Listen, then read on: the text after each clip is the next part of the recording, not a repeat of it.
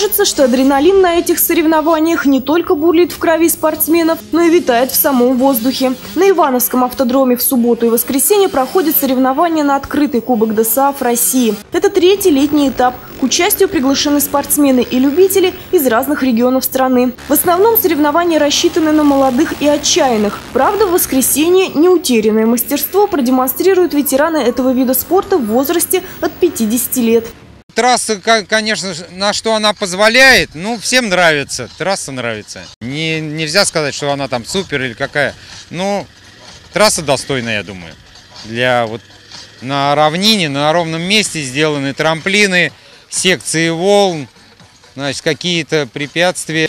Самым маленьким участникам соревнований 5-6 лет. Каждый за рулем уже как минимум год. Детские шалости и беззаботное поведение приходится оставлять за пределами автодрома. Тут все по-взрослому. На трассе важна внимательность и тактическое мышление. Я сосредотачиваюсь, я думаю, где обогнать, и я думаю, как правильно в поворот, чтобы не упасть.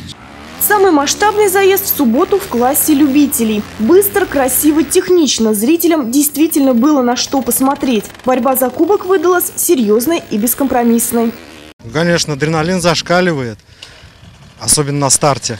Главное ведь старт. Как поедешь на старте, так ты и поедешь и всю гонку. Потому что класс любителей здесь э, примерно все с одной скоростью едут. Уж как на старте выйдешь, так ты и финишируешь.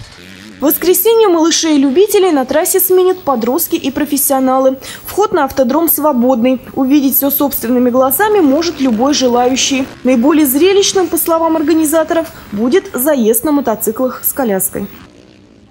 Елена Белова, Олег Мелехин, РТВ Иванова.